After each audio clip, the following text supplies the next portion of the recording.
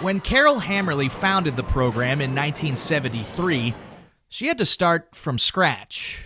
My first practice was probably the most eye-opening experience for me because I had, you know, I had this whole lesson plan all made up for the first practice, only to realize that maybe out of the 12, maybe four four had played in high school. Her first four seasons were losing ones. But in the late 70s, when the WIAA began sponsoring a girls' state tournament, things changed. That was the big, big turnaround. And we went from 4 and 17 to 14 and 9. So that, that was huge. The Phoenix haven't had a losing season since. Hammerle grew the program, guiding it through the move to Division One in the late 80s. I'll be honest with you, there was a huge um, motivation factor. It was called fear.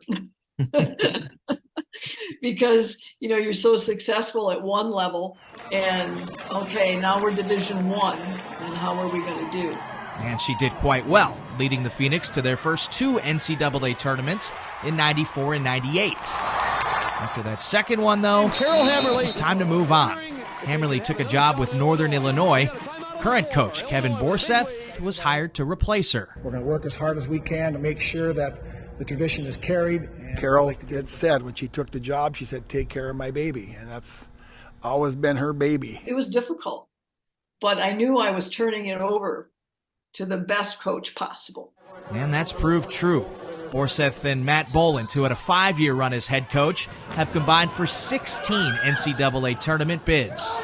I'd like to think that we've done a good job of upholding um, her wishes, and the tradition continues to grow. Meanwhile, Hammerle's legacy lives on, most notably on the court at the Kress Center, which bears her name. He had a shirt that said, If not for them.